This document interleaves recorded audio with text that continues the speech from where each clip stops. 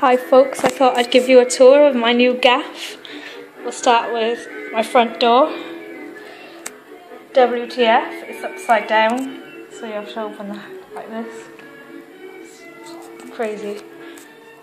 My state-of-the-art TV. Now showing silent films from the 1920s.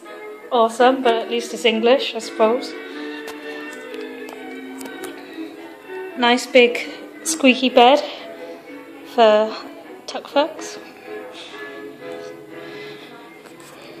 This is my bathroom. Also state of the art. No sink.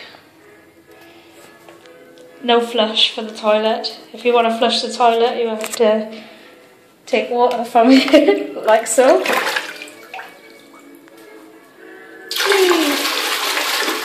Also, no toilet paper if you want to wipe your ass. The famous Cambodian bum gun. Woo! Yeah, great. $60 a month, so it's much cheaper than the guest house.